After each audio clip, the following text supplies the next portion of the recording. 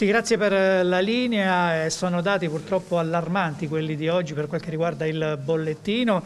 Eh, 509 i nuovi casi eh, registrati nelle ultime 24 ore, eh, il dato più alto eh, dal giorno di giovedì dal mese di novembre. I tamponi 4.957 quelli molecolari, oltre 3.000, 3.114 i test rapidi antigenici. Quindi questo significa che la percentuale positivi su tamponi eh, si attesta al 6,3%.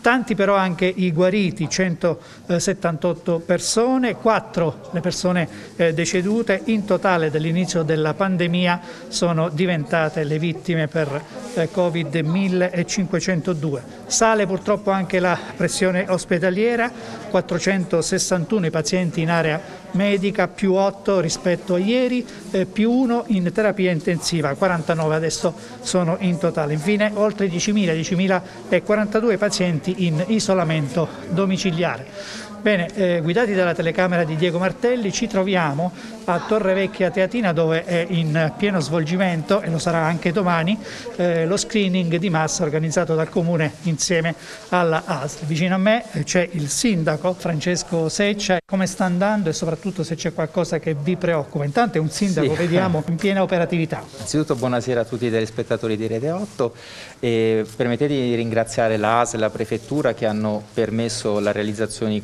questa iniziativa e i volontari della Protezione Civile certo. Giustino Romano, oltre al personale sanitario volontario.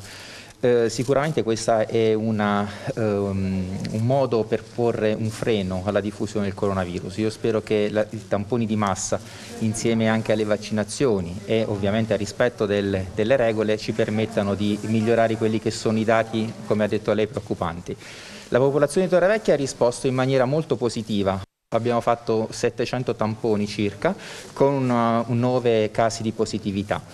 Devo dire che la situazione è abbastanza fluida, scorre, la, scorre, abbastanza bene. Ma come amministratore, come sindaco, come capo di questa comunità, cosa le preoccupa in maniera particolare? C'è qualcosa? Sicuramente quello che mi preoccupa maggiormente è i numeri. Anche qui a Torrevecchia purtroppo stiamo, adesso stiamo affrontando seconda, un secondo rialzo dei casi. Siamo circa a 45 mm. casi sul territorio che per una popolazione di 4.200 abitanti sicuramente rappresenta un punto abbastanza cruciale quindi eh, questi, benvengano questi screening, benvenga la possibilità di cercare di contenere ulteriormente la diffusione delle, della pandemia. Perfetto, grazie di cuore grazie al sindaco di Torrevecchia Tetina Francesco Seccia, eh, da parte mia e da parte del tecnico Diego Martelli è tutto, restituisco la linea allo studio a meno che non ci siano altre domande. No Paolo, no, buon lavoro, grazie.